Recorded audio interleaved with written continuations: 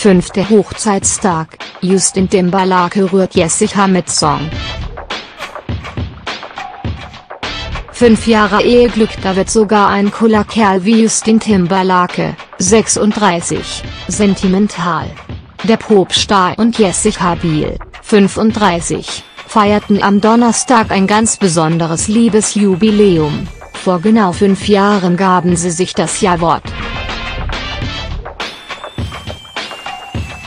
Und wie könnte ein Popstar wie seine Liebsten besser gratulieren als mit einem bewegenden Songposting, extra für seine sang er ihr Lied zum ersten Hochzeitstanz.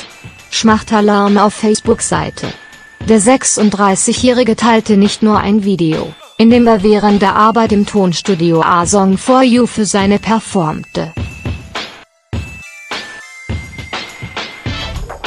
Er schrieb der Mutter seines Söhnchens Silas, 2, auch noch eine rührende Liebeserklärung, du hast mir so viel darüber beigebracht, was wahre Liebe bedeutet.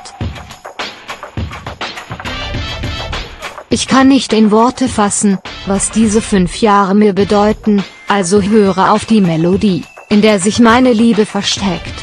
Da schmolzen nicht nur die Fans dahin.